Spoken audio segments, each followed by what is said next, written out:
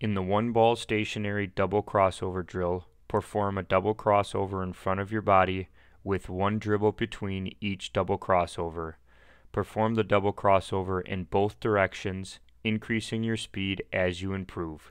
Each crossover counts as one repetition.